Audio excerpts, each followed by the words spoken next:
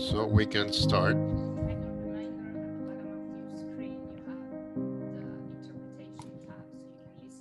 This talk, which will be in Spanish, uh, in English. Muy buenas tardes, bienvenido a todos al segundo evento Welcome nuestra to you all to the second event of our series of conversations, Why Architecture Belongs in the Museum. Why architecture belongs in the museum or should be in a museum? We introduce today Ricardo Daza, the director of the Leopoldo Rother Architecture Museum from National University of Colombia. Ricardo, welcome. I am Marcela Ramos, the director of the Arts, Cinema and Culture of David Rockefeller Center for Latin American Studies from Harvard University.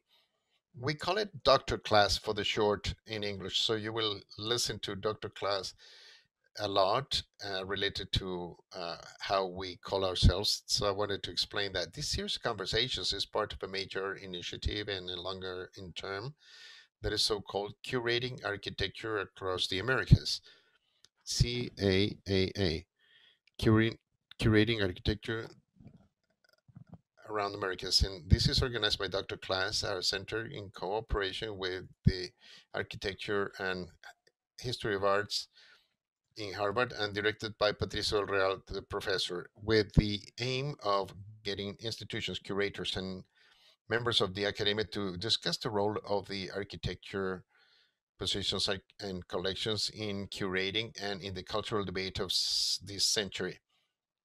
We look with this initiative to introduce the subject in the museums and in the academia environment to establish a dynamic network that is interdisciplinary and transnational as well, where we can exchange these ideas. So the first is uh, curating architecture in October 2019, where we gather historians, architects, and curators who work in Mexico and the United States, focusing on these two countries. The first one, and it was called Context Spaces, Mexico US.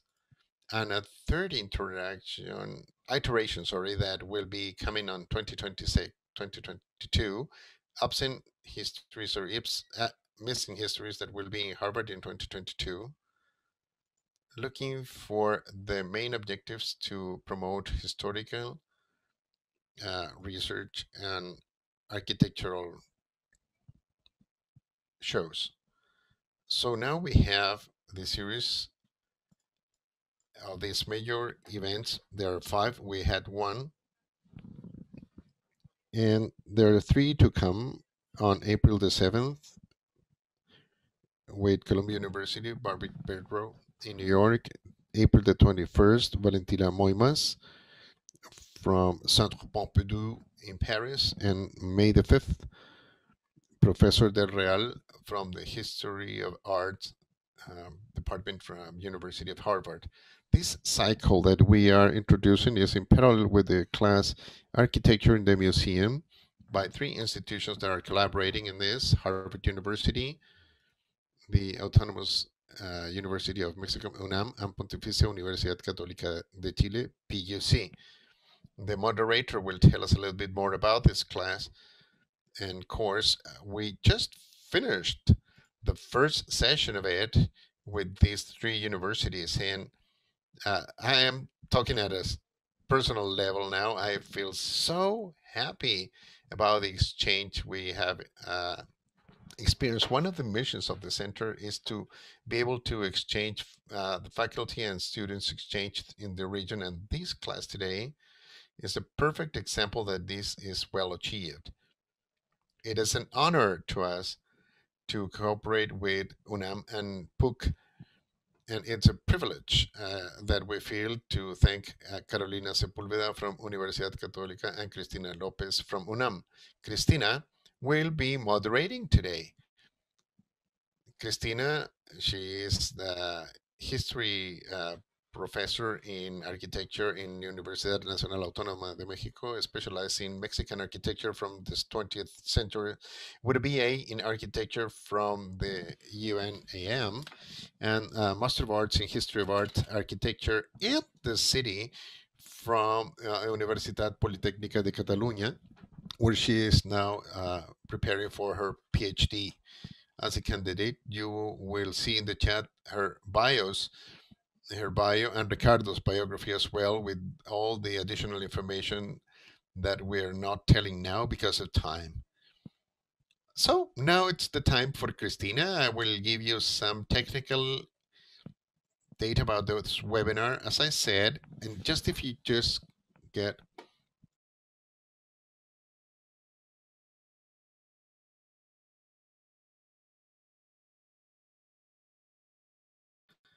we have one hour for uh, working. It will be recorded and it will be available in YouTube through the chat. You have all the information about our events, our social network. But basically, the series, the first event, these and the three to come, will come as long as we're being uh, doing them, and you can go back to YouTube whenever you want on the chat is disabled now, but we have a Q&A down there where anytime you feel through this talk that you have a question, please send that question. We will try to group them and if we can, to ask at the end of the talk. Thank you, Cristina. The floor is yours. Hello and good afternoon to all of you. As it was said before, Marcelo explained that what we're doing is a class that has been developed as parallel seminars together with uh, the history of arts and architecture in Harvard and the masters in architecture from faculty of our Department of Design and Urban Studies of Pontificia Universidad Católica de Chile and the editorial laboratory of architecture in the Department of Architecture in Universidad Autónoma de México the title is architecture uh, belongs to a museum, but we say between commas, quoting museum because the Latin American environment and the exhibitions are not always in a museum environment. So in that sense, it is important for us, very important to have Ricardo Daza so he could tell us a very special case in Latin America where we do have an architectural museum and specialized. I will tell you a little bit more about what we want in this seminar is to tell a little bit about why and how architecture comes into a museum. The fact that in some architecture departments and design come out in the museums and how this situation operates for some architecture that goes away from their or place in the world and in a complex relationship with the society in the day by day and then it becomes a particular part of the exhibitions of architecture. So what we look for here is analyzing the phenomena and how they operate as a power artifacts. We are studying materials, what is an exhibition, the, the archives, the curation strategies, the museography. Each of these classes will be focusing on their national context, but work together. We're trying these three institutions to work together so we could create a geography to put together the Americas in the study of these cultural practices of curating. That said, we now have Ricardo Daza, and he will provide key information on how these circumstances operate. He's an architect. Ricardo uh, is an architect from Universidad Nacional de Colombia, the National University of Colombia, with a master degree in history, art, architecture, and the city from the Polytechnic University of Catalonia, where he uh, received his PhD in projects, professor of theory and director of projects on the bachelor's, the master's, and the PhD, and the coordinator of the architecture projects line of the PhD in arts architecture uh, at the National University of Colombia, has been visiting professor in Brazil, Ecuador, Spain, Chile, Italy, Mexico, Paraguay, Peru, and Venezuela. Let's say lots of countries. And curator of several exhibitions, as well as author of the famous book in which you find Maes and uh, Tras el viaje de Oriente uh, about the Le Corbusier and many articles and specialized publications. It is interesting to know that uh, he is participating in Leopoldo Rother uh, Museum now. Ricardo, the floor is yours. Thank you very much, Cristina. I will share the screen now.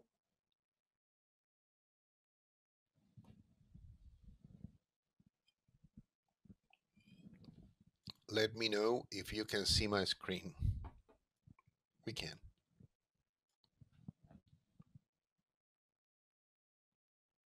First of all, I'd like to thank you for the invitation. Thank you, Dr. Klaas, David Rockefeller, um, Studies for Latin America, uh, Universidad Católica de Chile and Universidad Autónoma de México, UNAM, for the invitation done to Marcela Ramos, Cristina Lopez, Carolina Sepúlveda, and especially my dear friend Patricio Del Real, who has been fundamental creating projects and events which allowed the link between the North and the South, the South and the North, that is to say, America. With me today, we have Laura Sepulveda and Gabriela Silva, architects, part of the team who works at the museum, fundamental to create the pedagogy of a space. This is space pedagogy we are trying to build in this new direction that I have been appointed two years ago. I was the director, and now we are with a new policy. Leopoldo Rother Architectural Museum is a place for exhibitions, events, research, outreach, a space for reflection, and to have critique to the architectural thoughts with diverse manifestations. The museum invites the influence in architectural students, the publics, the architects, to participate in the events that are scheduled and promoted. This museum is focusing on expanding the borders of knowledge in the architectural field, but it's also aiming to create connections with some other fields and disciplines, developing research in architecture as their support activity to create projects and events, as well as the exhibitions. Further explanation I will explain now, but we're interested in creating relationships, exchange mu with museums and institutes and universities at an international and national level. With more than 30 years of history, it's the only architectural museum in Colombia and one of the very few in Latin America. That scenario for meeting is the epicenter of the debate and critical reflection on national architecture, and we aim to have the same for the international architecture.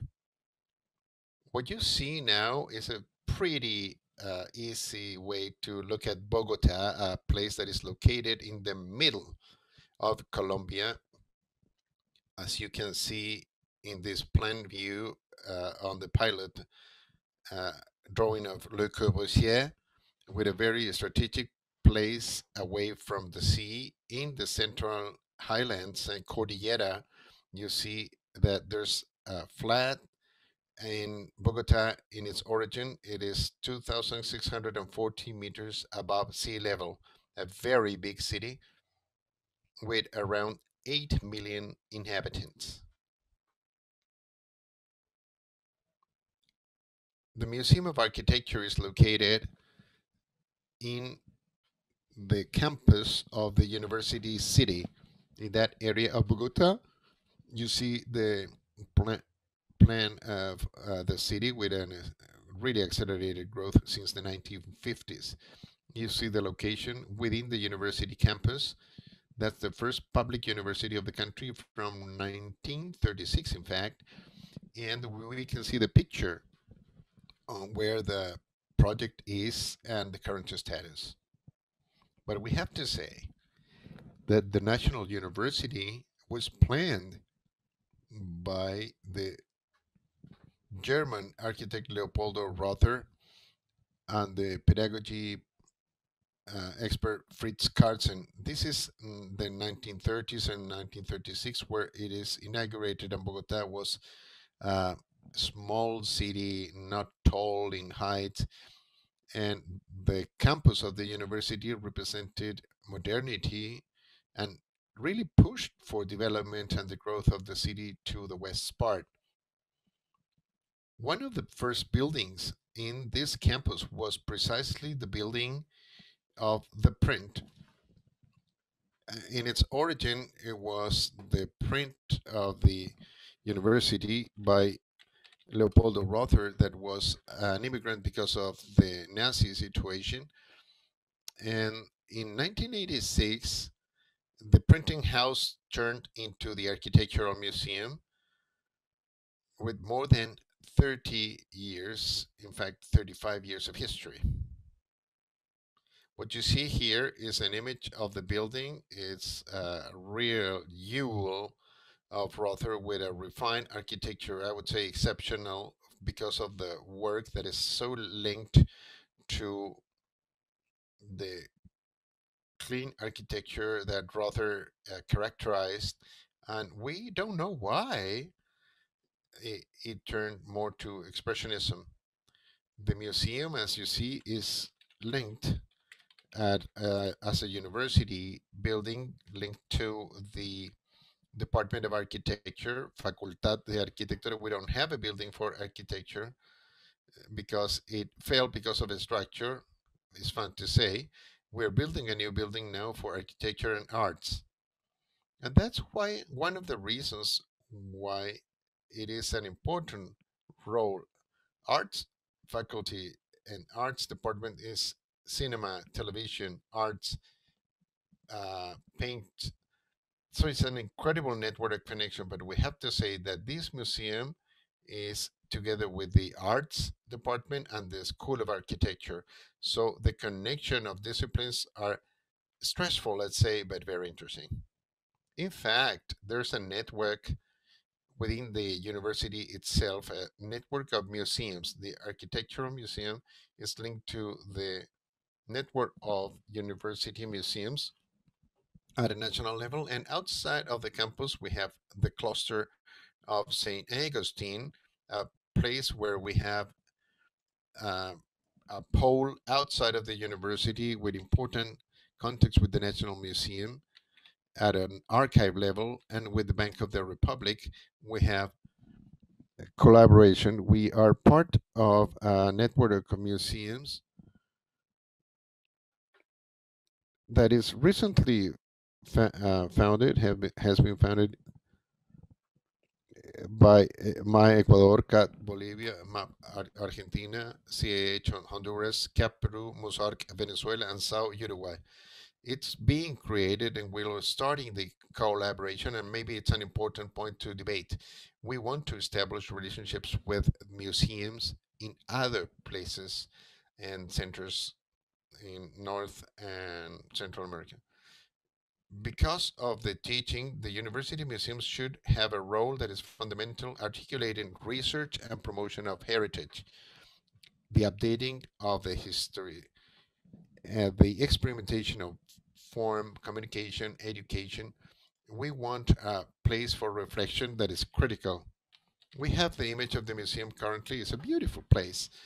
As it used to be the printing house, the adaptation to be a museum was interesting with ramps, great space for machine.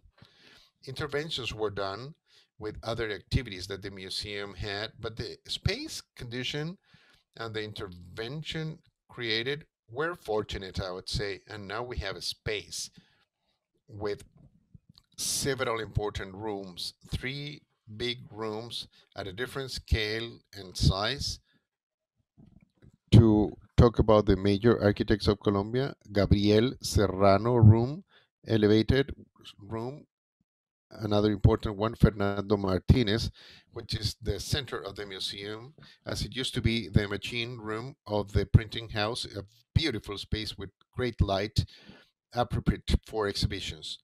Likewise, we do have the auditorium where we are showing events and conferences today, but now it has been replaced because of this remote virtual world.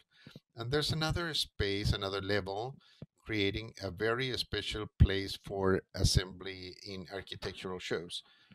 We will not talk that much about the exhibitions that we've done, but let's make and have some reflection on what we do now.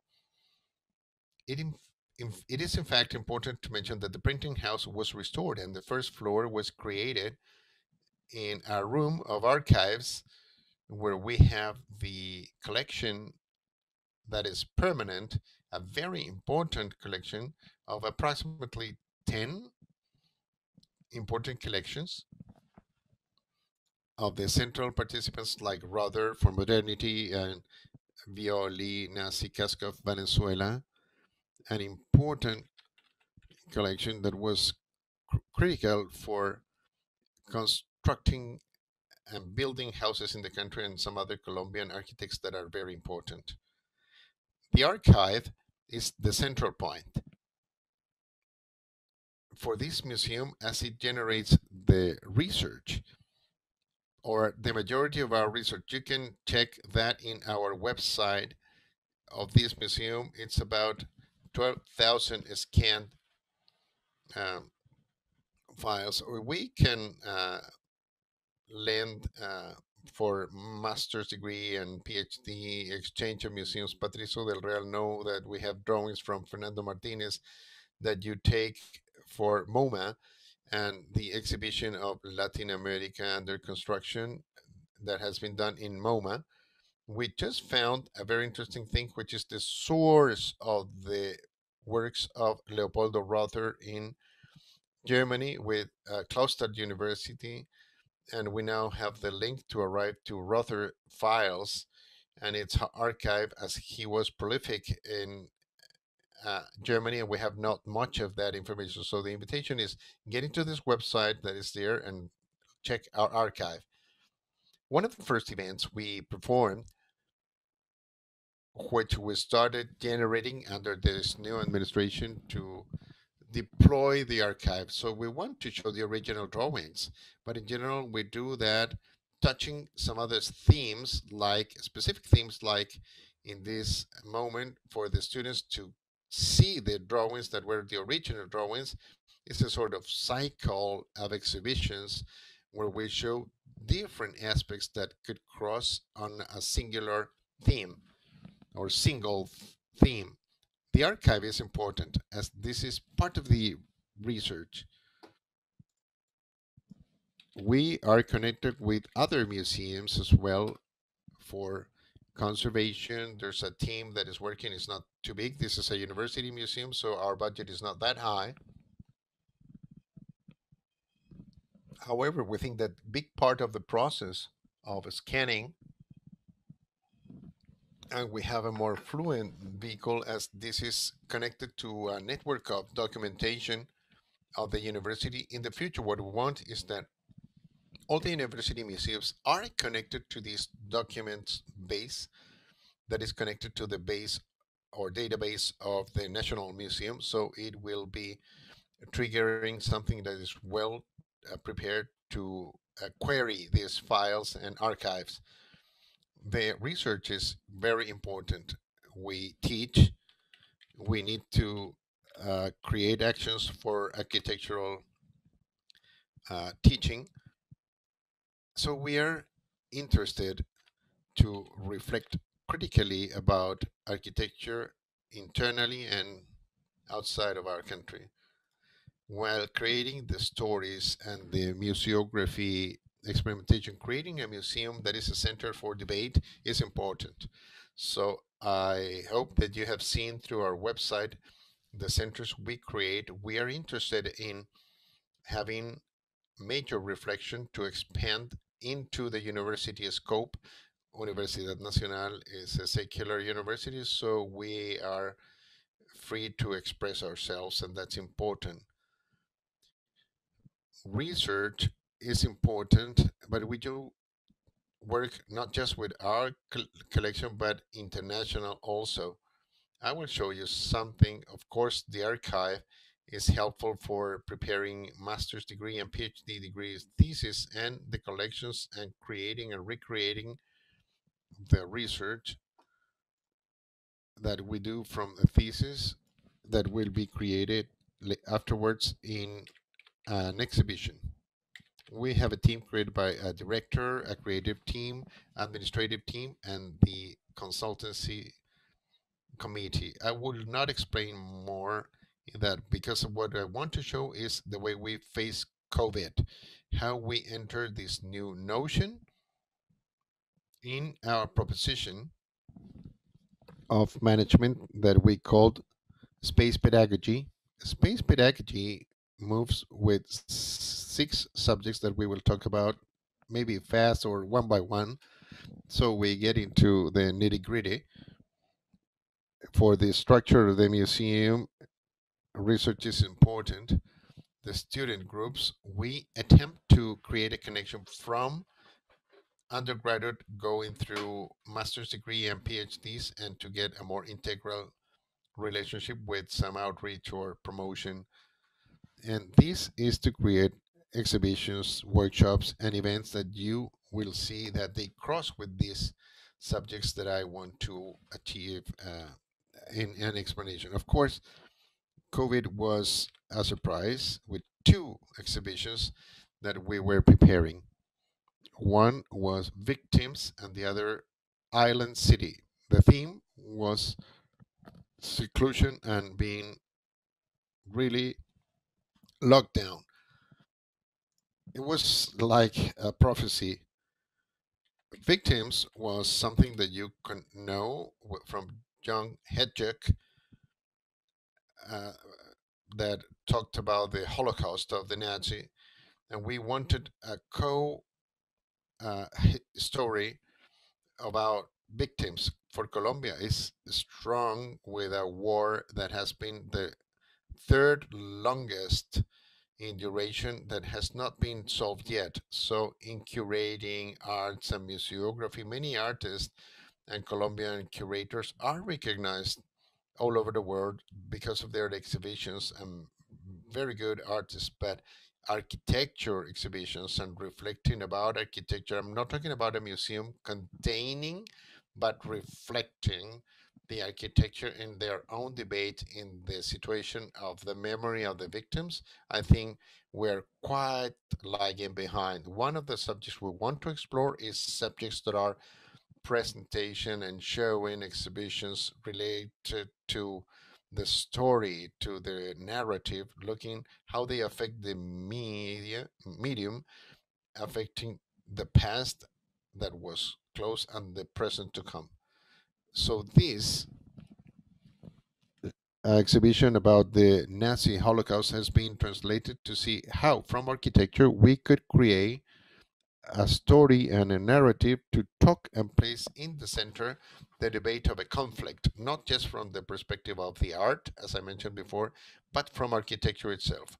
The second exhibition that was precisely there previous to COVID is Ciudad Isla in Spanish, Island City, that was prepared by a research uh, group from Zurich University, uh, Los Andes University, supported by the Switzerland Embassy. We have some re resources from the arts department, but we look for some support from other institutes and embassies like this one from Switzerland. This exhibition in, was an attempt to show privatization and the enclosure of some buildings that was a provoking thing. We are interested in the debate the strong situation with architecture within our city. So the island city was talking about privatization, privatizing, as in any Latin American city. This is a global phenomenon. It becomes a private city. So the exhibition was whistleblowing that practically 38% of the population is in a very enclosed place with uh, defense around. This is a private city. Bogota is manifesting this and we wanted to manifest that situation. So this is a research that has been long in duration. I am really interested in translating this research into something interesting. The students of ETH Zurich researched this problem in Bogota that was channeled through Colombian researchers. Then we created an articulation to create the museography that could be this whistleblowing idea. As you see, the problem, you know better, is not Colombian, but global. The phenomenon of enclosed cities that are excluded, especially accented by coronavirus, is right on top of the table. So these two exhibitions entered the moment we started working. Something that we were preparing already about creating pedagogy uh, for space. So the space pedagogy is the pedagogy of architecture. We wanted to learn about the creative process of uh, works and creating the narrative. So we created a strategy, a strategy of action facing coronavirus, starting from several points. Some of them are related more to the representation where we work with drawings, photography, audiovisuals, and manual and digital models, trying to create a sort of a group of creative uh, use. We call it lines of travel. They explore the representation through drawing, the artistic drawing, the technical drawing, which is the exploration of the architecture in a city through drawings. We established this I think it's important. We have a good group for working with uh, collective uh, buildings working in Bogota, Dibujada, and others are working in the city of Bogota as well. And we wanted to articulate this within the museum. So this was, is a reflection on uh, picture and sketches and the private psychology, we launched the exhibitions with workshops and we created events where the uh, sketching and pictures are a determining factor. The museum has been studied. We are linked with Salerno University in the Italian world. Sketching is important. Also, uh, drawings with uh, University of Bologna that have as an end the visualization of the representation means. Massimo group is a group that in includes the scanning of buildings. We had a special scanning of the building of this museum, which is already scanned, as we use this building as an object or an object of poem reaction. We're not that interested in the architectural business of the museum because the debate is there, but we want to see the building as the place for experimentation, just like in the city and island.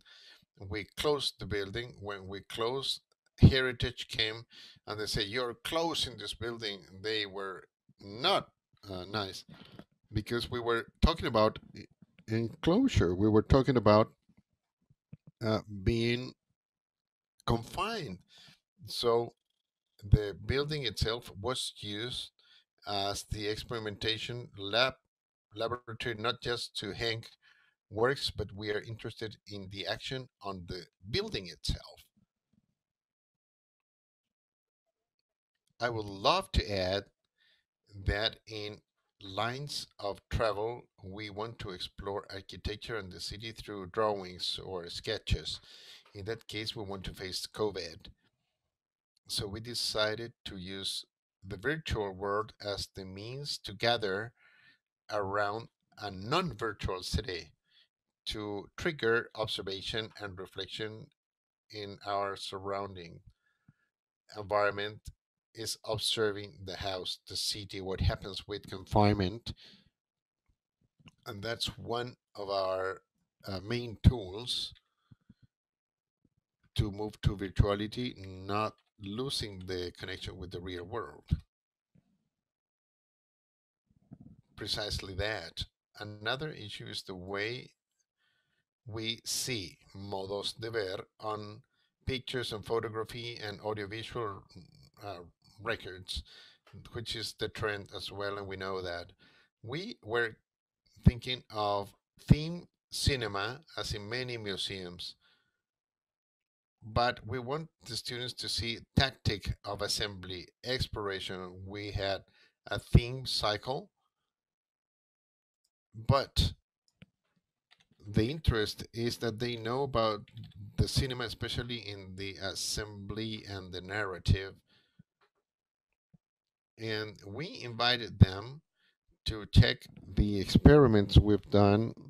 You can talk to them and ask them this exploration from or that starts from video with the virtual world and the situation we live now it is no doubt that we will continue to uh, go through virtuality and we will continue exploring with virtual recreations that are linked to exhibitions. The other subject matter we launched in COVID was gathering photographs of the history of the building itself as you know, I know if you really know, but from the 1930s, we have very few uh, sources of information. We have sort of scanned the history of it, but we want to hunt material that could allow us to supplement the archive, not just to mention about Rother and the building, but also Universidad Nacional. Post-COVID, what we're planning is another exhibition with the uh, Leonardo Finotti, photographer. Leonardo is thinking of Latinitudes, which we want to, in a transversal manner, look at Latin America through photography. At the two stages crossing modernity, Leonardo Finotti has really worked uh, importantly for MoMA, he traveled all South America. There's an important uh, work of his past of cities. As Borges says, cities are more fixed than countries. So we want to have the notion of a country, a very abstract thing. In the dynamic of arts, architecture, and trends, it, they move creating different maps. And I think this is a very important thing in the dilution of the border idea. We're work, working on that. Leonardo is working on the present moment, uh, thinking about signatures. So, so we want to check the transition to modernity and then liquid modernity. Call it what you want, but there's a transition.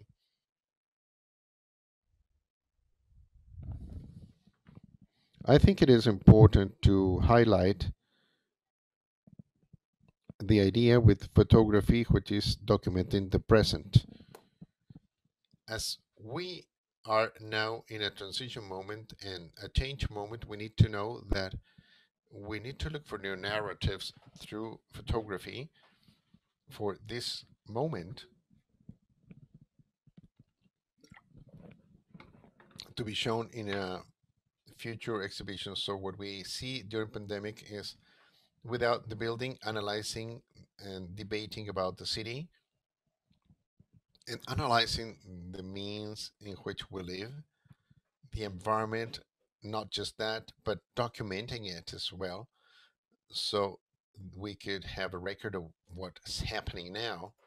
The third subject is 3D lab, reflecting about manual models, digital models, experimentation, and parameters. 3D lab is mock-ups and models lab and prototypes.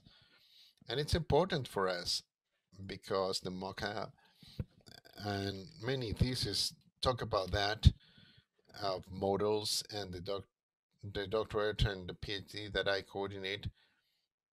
We are working head by head by Joseph Guinard, the architect, and it is good to say this is the group that, uh, that is working with GNAS Joseph Gines and Steven Holl are projecting two important buildings for Universidad Nacional. The Steven Holl building is for postgraduate in human sciences and law that as a paradox is so close to the museum, almost in front. It is not yet built, it's under the process of it. So we want to achieve that, and the Josep Gines, the Catalonian architect, is intervening one building of Rother. Very interesting, as both of them are facing, confronting Rother. Many of the buildings are uh, in planning. So it's interesting to reflect on the creative processes. For us, it is key that our exhibitions are not just being created or mm, uh, to have the myth of authors that we have done in the past. When we show an author, we want to show their creative processes. So it's like face to face to show projects in the campus that could create uh, tangential and divergence situations when they approach the university campus. This is already in progress connecting the offices of architects. The subject in specific in the case of Josep Gines is more direct work from models. If you don't know his work, manual work of drawings of Ginard is an impressive thing. Models prepared in the workshop for mock-ups and superposition also. And then there's an interesting debate with ourselves, with the lab, with the laboratory for 3D models, with laser cut. And the debate is so interesting, even for technical resolution, which also allows for the reflection of the architect in their own process. So we're interested in exploring the mockups and models with conceptual value and artistic presence. Models that inside in creative processes and as Olafur Eliasson will say the co-producers of reality as mockups themselves in the exhibitions have a character that is not just a character that are a mediation for building a building itself, but the model as such acquires their own static dimension. That is an exploration that you know is important for exhibitions, but they get more strength in the architecture exhibitions. As Ricardo so well explained, and the subject matter of our uh, conversation is space pedagogy, we want to link the students. So 3D lab is with one foot in the professional and the other in the academia. And with seminars and workshops, they start understanding what it is to have a model like this. So these seminars are teaching these main programs how they uh, could achieve something or what we expect to achieve in the learning and models and a difference that is a digital model one-to-one and a digital model for a mockup that is important for each case. And also it allows experimentation with new technology like 3D printing, CNC cutting, and thermal formation that comes from Miguel Forero hands, which is a link that allows the students to understand these new technologies and apply them in their own processes. Apart from that, the seminars linked or motivate the students to be linked to the museum and the museographic side of explaining architecture and showing the architecture. So the students that have gone through these seminars, they linked in student groups. The final objective of 3D Lab, as Miguel Forero said, is that we understand that mock-ups are not made by hand, but by the head. Well, what Gabriela just said is a key thing for us. The assembly of an exhibition, bringing exhibitions, we do that.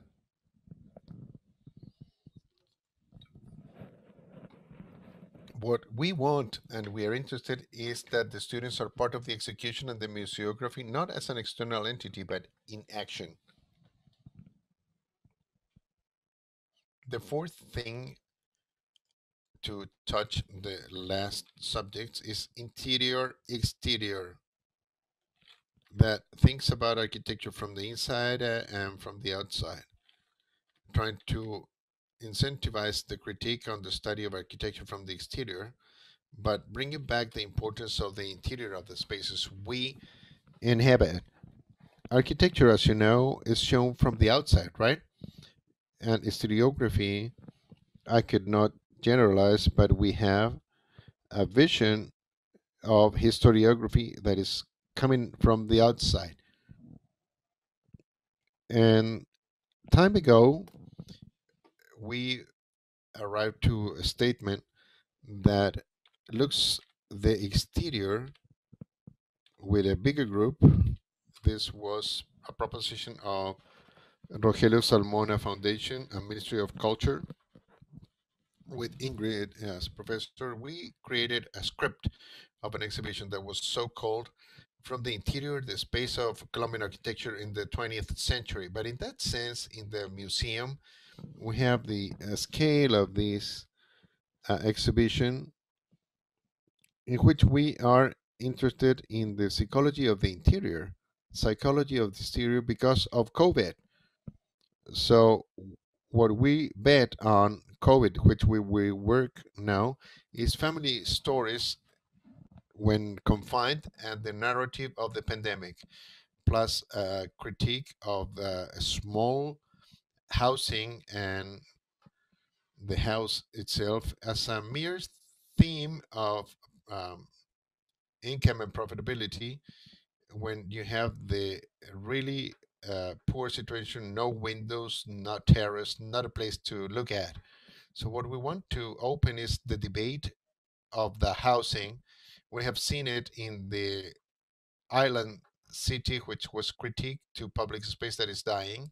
And in this case, we want to look into the ins inside of the stories and the interior psychology. Our reflections will be more in the cabinet of the curiosity in the 15th century or 18th century uh, rooms like the ones shown or Pamuk in the Theater of Innocence. Uh, I mean, the familiar museum of history, Pamuk in the critique shows the creation of stories that could bring out daily situations and the relationship between the body and the space. We are interested in uh, Javier de Castro's reflection on miniature models and the idea of miniature, even with COVID and this pandemic situation, if it uh, continues or new viruses come, we are in the relationship of the interior. So we need a new narrative or ekphrasis when we think of Ernesto Castro and the reflection of visual phenomena that become textual phenomena, the tension between the real and the fake, and the creation of new stories. And we need to create a new fiction between or inside the fictions we're living. If we continue in this pandemic, we need to create virtual stories. I traveled inside of our room to uh, recall Javier de Maistre. This is key as we're thinking of the miniature, the cabinet, and the notion of the inside space. As you know, with COVID, all the problems and psychological drama uh, has been highlighted. Pandemic created the interior and exterior issue to be more important, not just for the architects, but for everyone.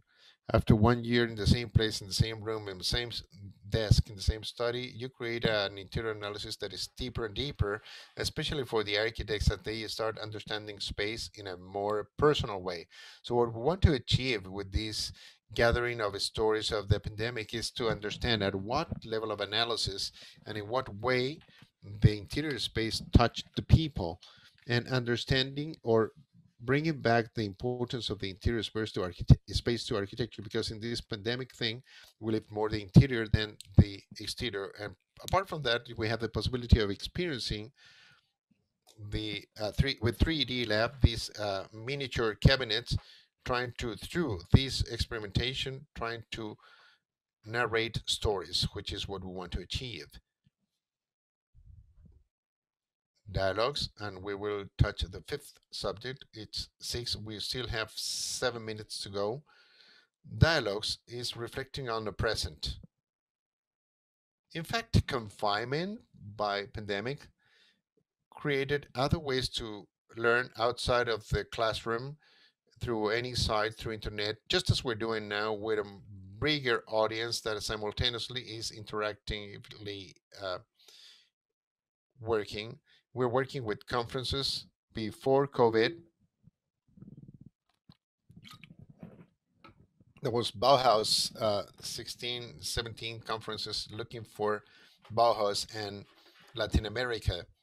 But in the COVID uh, world, we launched a cycle that was lessons from distance, in which we were interested in showing what the architects of the alma mater were doing in the architectural production and in research. So we cross projects with uh, research to have a more transversal view to see what in the architecture was being done and what's uh, research in this research and creation as the source of creating in our exhibitions. In the present, 15 days ago, we launched a new cycle. Every fortnight, we eh, have a cycle that has been organized in the museum in Bogota and Manizales, Medellin, to break this centralized view of Bogota or Medellin. All the um, campuses got together to create the event, and this is so called conversations from distance. Conversations from the distance are aiming to put together two architects or two groups of architects to have a subject matter to debate, like creative processes. Dina's fall. We want to uh, mention the actors of the moment, the architects there, to open the debate and talk, to uh, talk about their thematic things like technical things, social housing, or the house for social interest, the VIP they call it here, which is totally abandoned by architects and is in hands of construction businesses and uh, entrepreneurs or enterprises. How the Colombian see the critique of the role of architecture, if there's any. Well, a series of debate. You're invited to participate in these debates which as an objective have the idea of building a material that is dense enough in order to create an exhibition of architecture. And for that, we created a students group, several groups in the museum that are strong. They have almost their own life. These researchers are um, interviewing the main architectural uh,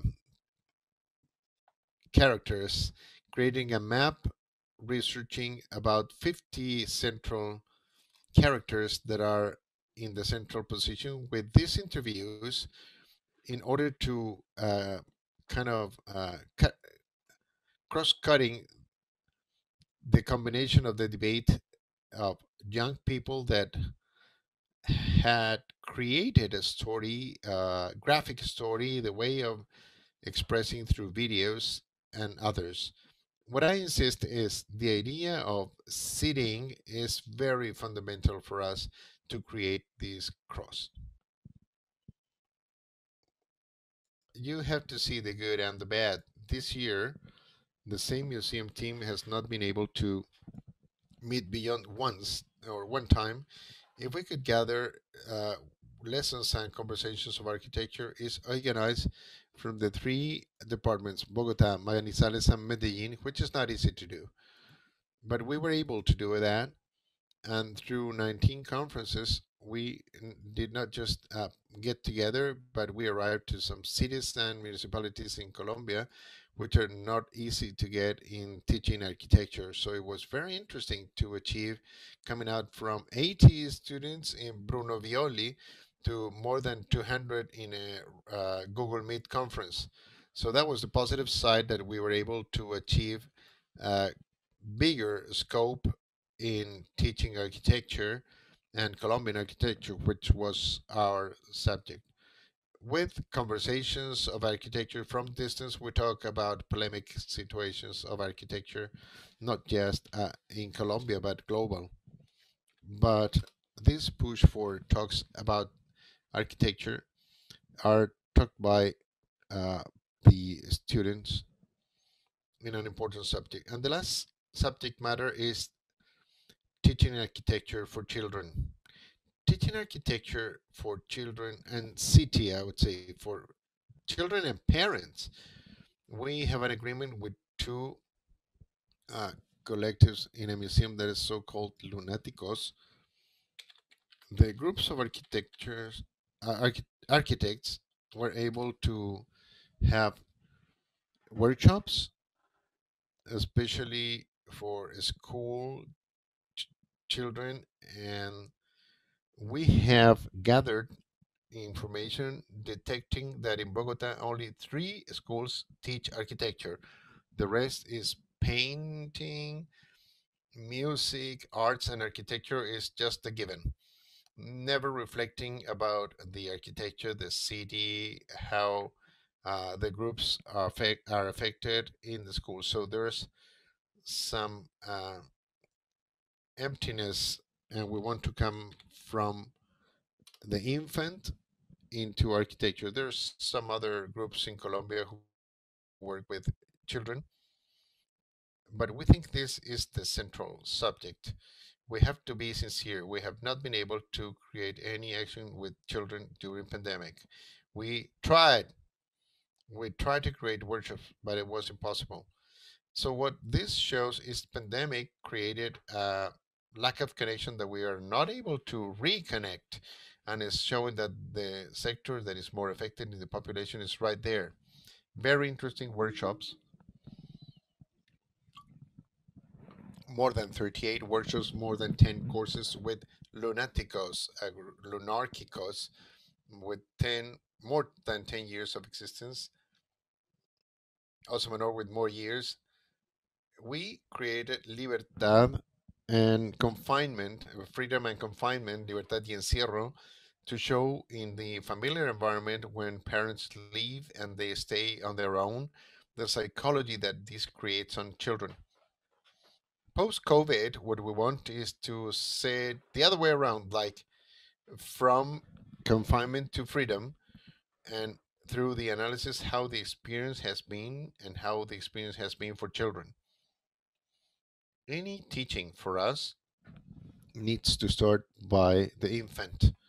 And in fact, it is taught by playing. The framework to educate is playing the games like Benjamin said, children are the educators of the educators and even their parents. Recovering infancy as the possibility for imagination. That is it. For creation, even for the creation of exhibitions,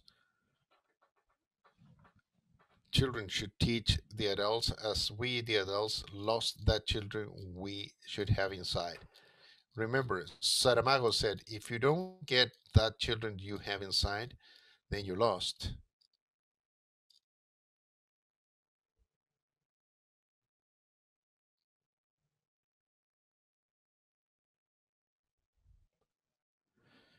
Now getting to the conclusion, to finish, I have to say that at this stage, the museum team has a resources policy and preparing in a plan for recovering the physical plant and the damage that has been done because of this abandonment of one year, implementing sanitary measures and protection to come back as we plan, hopefully for this second term, that the university is not yet open uh, in the museum. So we could continue performing the exhibitions we used to have and the events we had. So please pay attention for the events, uh, connect to that, collaborate with us. The proposition is space pedagogy.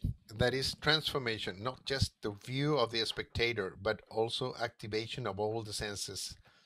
With COVID 19, it is the whole body of the society that is in crisis, the society as a whole in thinking the works and actions in front of the means and environment surrounding us. For that, we need the action of collaboration at a local and global scale, the dialogue, the conversations, being it from distance like we are doing now. For us, architecture is crucial in the debate, as architecture is the one to open or close, to connect or disconnect the borders of the private awareness, the world of public conscience, and the natural world that protects, bring us in, and surround us. Being linked cause liberty, not the absence of it. Thank you very much. Thank you very much, Ricardo. There's no doubt this is a wonderful example that work that you're doing in Colombia. It attracted our attention. How? Far from being the traditional museum where you see the authors uh, mystifying and the aesthetic dimension that you meant you talked about. From the building itself if you see it as the container of works the museum will be the artifact that helps in the debate to support the object of poetic reaction for experiencing a place where we have the uh, space pedagogy experience and the action with people. I think this splits from the traditional idea of museum, a very good idea for Latin America, for all of us that are opening to debate to see what happens with COVID and how their lives will change. Uh, to prepare now to go to the questions, we already have some Zoom questions. I hope that Marcela could tell us some words. Thank you, Ricardo, for the presentation. Just a practical thing.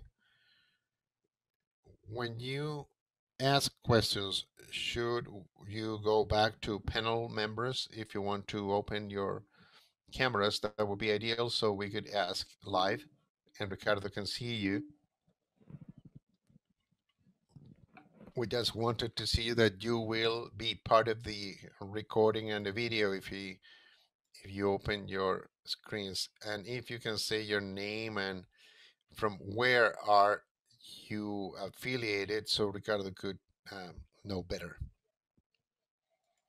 Before we go to these questions, thank you very much for the uh, Silva and Laura Sepulveda.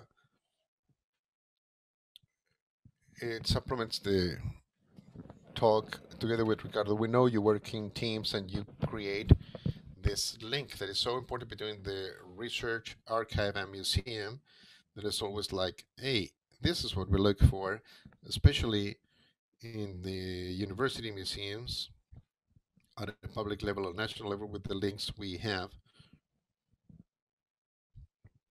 And it works like an apparatus to open a debate, to respond, research, and to question. So, I don't know if you want that.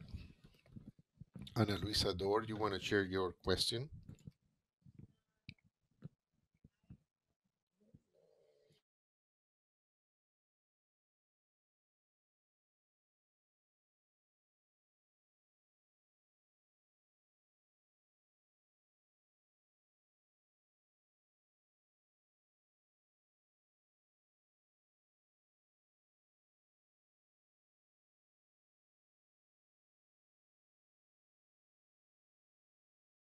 Experimentation right?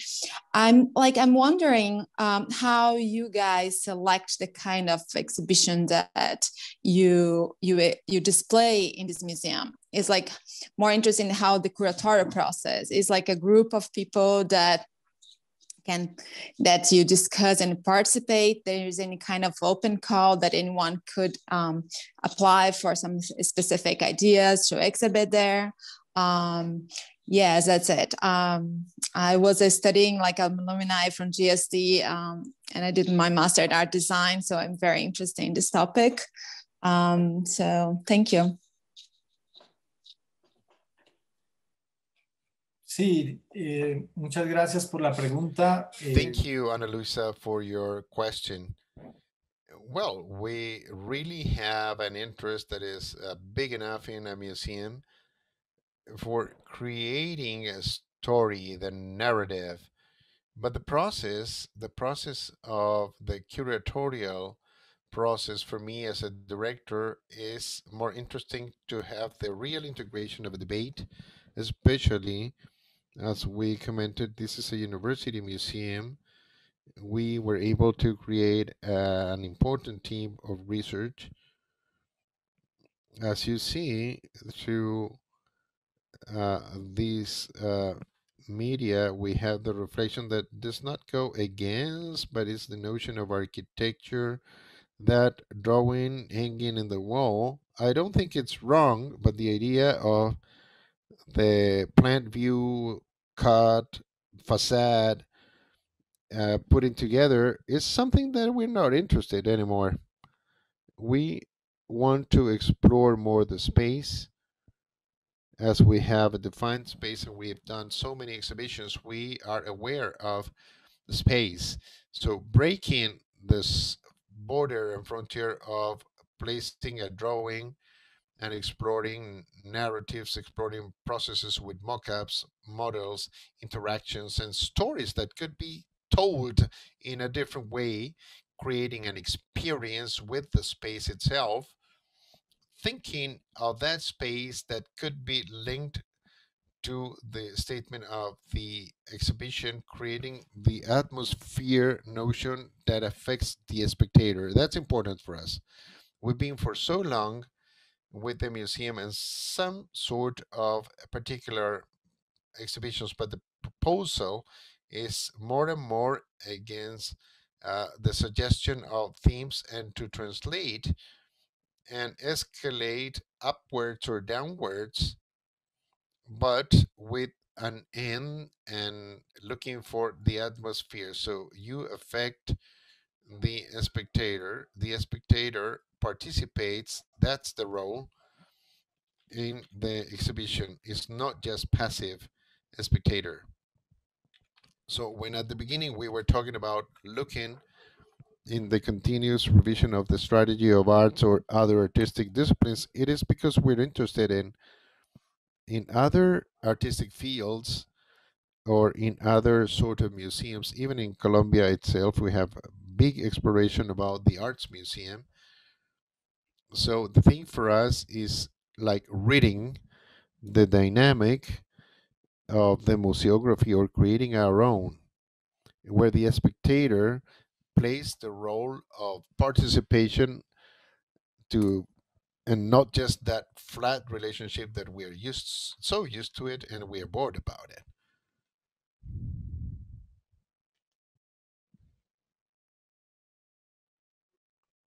Gabriela, would you like to add something? Sure, I will. Ana Lucia asked if there's any opening for presenting uh, exhibitions in the museum. No, there's not, but I want to emphasize we have two sorts of exhibitions collaborations as Ciudad Isla with a group of research with a master's Regalopes, Regalopoli thesis with the University of Zurich, etc. But we have some other sort of uh, exhibitions that are created by our own team, our own uh, working team. So the we have that duality. We want to experience that, not just in corroboration, saying do this, do that, but as uh, work in teams and looking for the interest of the group that we have been able to create through these uh, years of work together. Thank you, Gabriela. I'd like to ask you to uh, open your cameras when you ask a question. We have another question, Eric Serrano. Hello, good afternoon. I am Eric Serrano from Universidad Nacional Autónoma de Mexico, UNAM. First, I'd like to thank you and take the opportunity for uh, this wonderful uh, and passionate uh, artistic work. I would say artisanal works in some stages, and to use this to open the debate of subject matters that is not just of the Colombian society, but global. I think it is very interesting that work that you're doing together as a team and the way in which through collaboration you grow and do things that are very interesting, opening discussion that are important. I think it's passionate. I want to tell you I'm interested in any way of collaboration. I would love to participate with you. There's no other way than doing it as you are doing. I think it's a spectacular, even at the distance or in presence. Who would not love to go back to the beautiful country of Colombia? My question is around the social uncertainty that we're living now, how can we plan and project in the future with this uh, sociographic uh, labor that we want to generate in this panorama where we don't even know if we could open or create a space where we could generate an exhibition or if if it this will be totally digital how can you achieve that? Thank you. Well several things. On one hand we have the artisanal and artistic as we said and the transition between the manual and digital i think if we fall in one of the extremes, it could be as dangerous as falling into the other. Through the travel lines, líneas de viaje, and models, we work with the hands, but we are aware that there's machines coming. So the organic mechanic relationship, I think, is one of the big debates that is losing the action of the hand.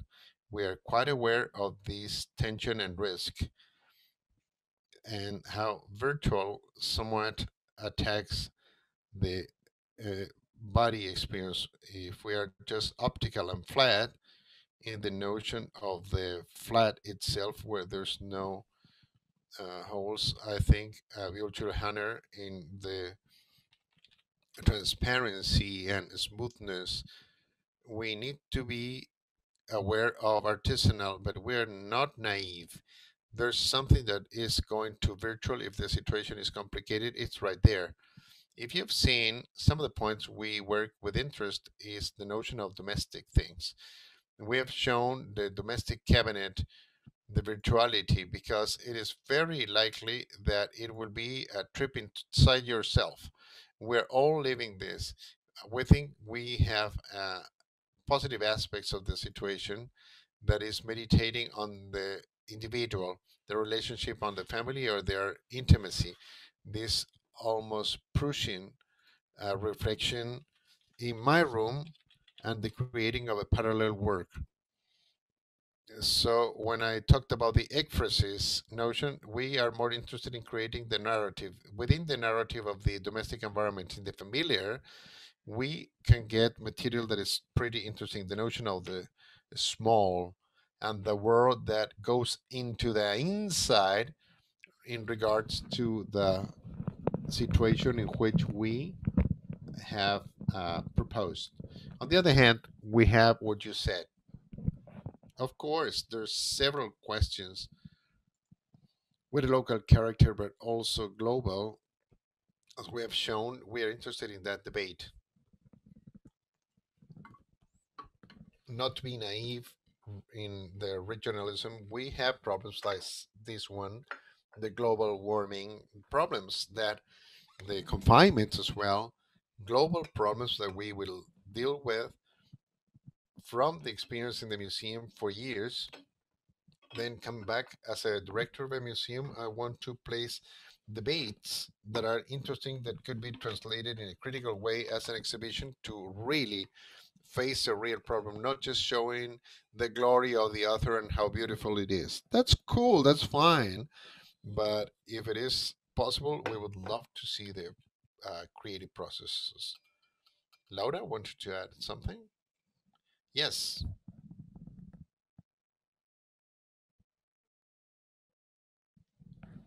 When you ask about prediction with uncertainty, we try not to plan unnecessary exhibitions by creating strategies where exhibitions could fit.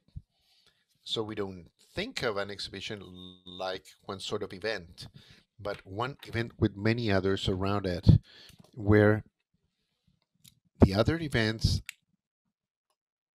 could be executed at a certain stage in a virtualized world. We attempt with our team to create different future scenarios and the imaginary of creating different narratives like different paths that we could walk as really we are living a major uncertainty and we're not able to make decisions what to do tomorrow in such an exhibition but prepare in that way for what comes, uh, we could have a vision that is ready then. Thank you, Laura. We have very little time left. We have just one more question from Michael or Michael Forero. But Michael Forero, please be brief, and Ricardo and uh, collaborators, be brief in your answers. Hello, and thank you very much for this event, Patricio, Cristina, Marcela, Ricardo. I am Michael Andres Forero. I am in a PhD in history and theory with a research team that is uh, curatorial research in uh, the Netherlands, researching about architecture exhibitions. And my question is, because I'm really interested in this presentation, is this the network of emotions in Latin America that you, I mean, read a network of museums is there some institutional exchange of human teams? How is the collaboration? And if there's any difference with ICAM, can you please expand on that? Thank you, Michael. We know you're a friend of our museum as you have uh, been writing us. That network was signed as a group. We had some meetings uh, a while ago. So we are creating this collaborating network.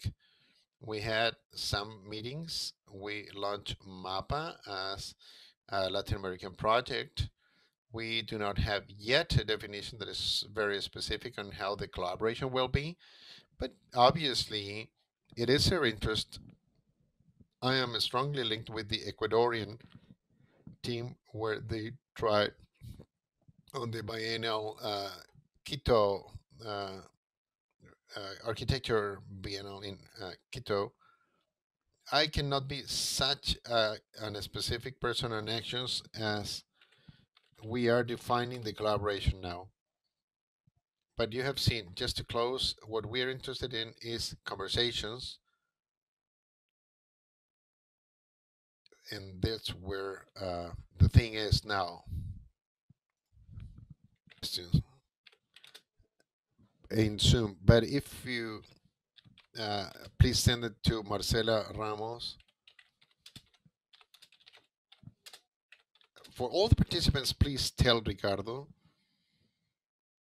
I think it's important, relevant, and it will be interesting.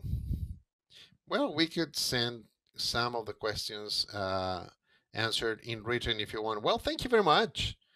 Marcela, would you like to say goodbye?